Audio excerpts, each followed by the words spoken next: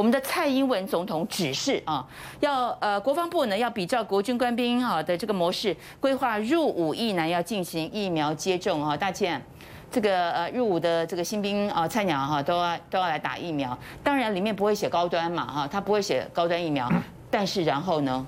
哈，会不会最后就是高端？因为没有其他疫苗。对啊，是啊，很多人讲说没有其他，那那很多人很天真说，那我可以拒绝啊，我就不打，听到高端我就不打。不打，只要是在军中哦，你活得下去吗？我想讲，嗯，只要是当过兵的，只要曾经服过兵役的，都很清楚军中是什么样的一个氛围跟环境哦。我先讲，当一开始如果就做这样的宣誓的时候，其实所有入伍的新兵，那你就要面临抉择了，我究竟是打还是不打？我不打，我能不能够入伍？我如果不能够入伍服役，我接下来的人生的生涯安排是不是也要全部往后延后？这这对很多年轻世代来讲说，这是一个这个天人交战的决定了。很多人可能明年就要出国了，他排好了这个时候要入伍，然后服完兵役之后，他接着就要去出国深造了。但是如果我现在没有办法入伍了，我要等下一梯了，我可能要等下下梯了，我要等到我自己希望能打的疫苗我。打施打完之后我才能入伍，那要等到猴年马月，谁知道要等到什么时候啊？所以在这种情况之下，第一，在这第一关就有很多，我相信要即将入伍的这个新兵的年轻朋友，他最后就算想一想算了，我为了不要拖延我整个人生的生涯规划，我就干脆打了就算了。是啊，打了我这样我才能够入伍，我入伍赶快把兵役服完，我才能够出国深造，我不要再拖了。哦，这是第一种状况。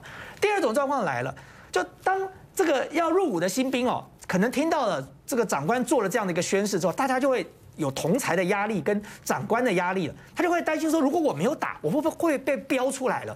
哦，那我接下来在军中的日子可能很难过，长官可能会整我，而且长官呢，也许因为他也有业绩的压力，所以长官会不会在这个接下来的日子里头，并没有办法好好的让这些没有施打的这些这些入伍新兵能够过？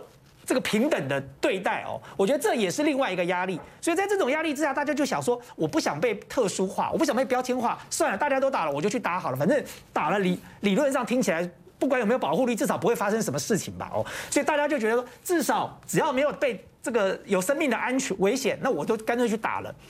第三种状况是什么呢？第三种状况就是，如果军中的长官再狠一点哦，他在宣布说。打了之后放两天疫苗假，这是很正常吧？这按照所有的这个所有的各机关行号都是如此啊。你只要打疫苗就可以请两天疫苗假，对你现在没有别的疫苗嘛？对啊。所以如果入伍了，愿意打两天。打这个呃疫苗的，那么当然合理放你两天这个疫苗假。那这对这些入伍的这些新兵来讲，能够放两天假，哎，这是多么了不起的一件事情。那当然极有可能在这种鼓励之下，他就干脆把手臂卷起来说：“好了，那就打这一针，就为了换这两天假也值得哦。”所以我觉得，呃，只要入伍过的这些朋友，我大家都很清楚，在军中哦，跟在社会上是截然不同的两个世界。那。这也是我们当时一直在高度担忧的。我们高度担忧的就是，当这个高端疫苗现在还是六十万剂嘛，哦，接下来八十万剂，不要忘了，我们政府买了五百万剂，哎，我们还有四百二十万剂还没有打。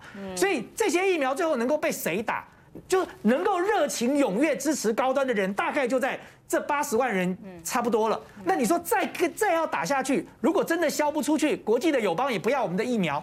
那你这八这四百多万剂疫苗，总不能放在仓库里头等着过期吧？所以最最倒霉的，或者是即将可能变成新一波白老鼠的，当然就是未来一批又一批即将要入伍的新兵嘛。